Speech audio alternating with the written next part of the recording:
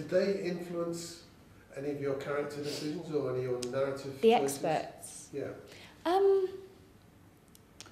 less than I thought they might. I think um, it was l- great having them there because, um, you know, I have one subjective take on my own experience, and it was great having them there for just sort of to sometimes go, you know, does that uh, does that read generally for this stuff, or is that a, a meism? Um, so that was kind of useful to know.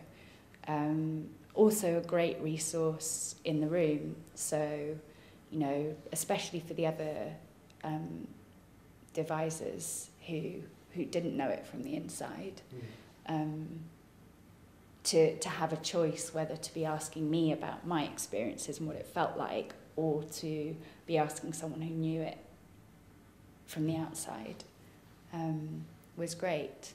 And so uh, also them just being a sort of informal sort of ethics panel so that we didn't have to be um, was